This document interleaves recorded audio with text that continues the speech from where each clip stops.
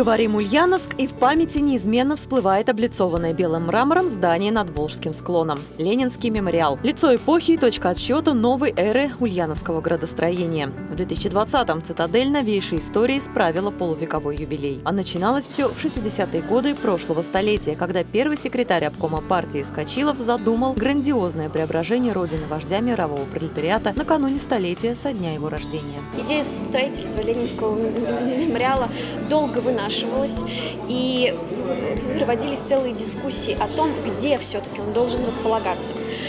Изначально по проекту э, это то место, о котором мы привыкли думать сейчас, это Волжский косогор.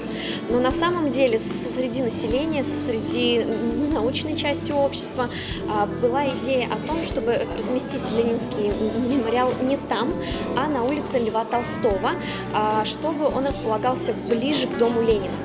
Верховное руководство страны дало добро на использование самых дорогих материалов – гранит и мрамор, алюминий и твердые породы дерева. Мебель для интерьеров главного здания комплекса привезена из дружественных стран, по большей части из Венгрии. А к обустройству концертного зала приложила руку сама министр культуры СССР Екатерина Фурцева. Именно она предложила такое преобразование универсального зала для заседаний. Загадка Ленинского мемориала – капсула времени. Возможно, разгадать ее удастся лишь археологам далекого будущего.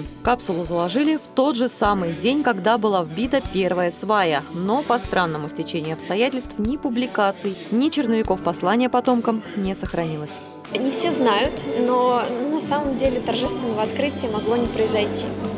А уже на финальном этапе строительства Ленинского мемориала а, произошла можно сказать, большая трагедия.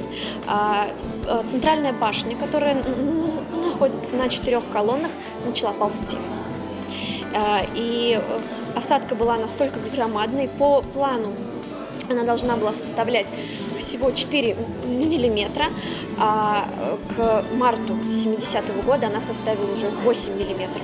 Спасать проект собралась специальная комиссия. Решено было вбить дополнительные сваи. Однако один из инженеров стройки проверил расчеты. И выяснилось, катастрофы нет, осадка здания в границах нормы и скоро прекратится. Так и произошло, и открытие Ленинского мемориала состоялось в назначенный срок. На торжественную церемонию приезжал генеральный секретарь ЦК КПСС Леонид Брежнев. С этого момента жизнь на родине гегемона Великого Октября совершила настоящий вираж. Появление Ленинского мемориала обусловило изменение экскурсионных маршрутов по ленинским местам, а сам центр стал настоящей туристической меккой. Уникальный музей под сводами здания представляет историю становления советской власти в послереволюционной стране. Уникальность экспозиции, которая представлена в Ленинском мемориале, она действительно, ну как сказать, в том, во-первых, что э, она посвящена всему периоду жизни Владимира Ильича. То есть это не просто моменту присутствия в нашем городе, тем 17 годам, которые он рос, родился и рос в нашем городе.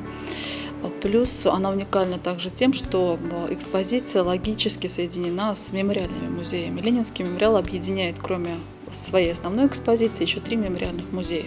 Изначально филиал Центрального Ленинского музея, открытый в суровом 41-м, находился в особняке барона Штемпеля. В мемориале развернулся до невиданных ранее масштабов. Пережив непростой период в 90-е, музей, один из немногих в стране, сумел сохранить и экспозицию, и дух своей эпохи. До недавнего времени посетители могли лицезреть, как укреплялась советская власть с помощью рубиновой карты. Шаг назад по временной шкале. И вот он, Старый Симбирск. Удивительный мир в миниатюре на диораме за авторство творчеством прославленного мастера Ефима Дешалыта. Попробуйте отследить границу между трехмерным и двухмерным пространством. Сегодня экспозиция законсервирована на время ремонта здания. За полвека мемориал исчерпал запас прочности, заложенный строителями. Серьезной реставрации подверглись как видимые, так и скрытые элементы строения. С удивлением, даже коренные жители города обнаружили под мраморными доспехами стены из красного кирпича. Однако проект перестройки здания в Адриум не прижился. Его можно увидеть лишь на макете. И из кокона строительных лесов Ленинский мемориал выйдет все тем же величественным памятником своего времени и олицетворением духа своих создателей.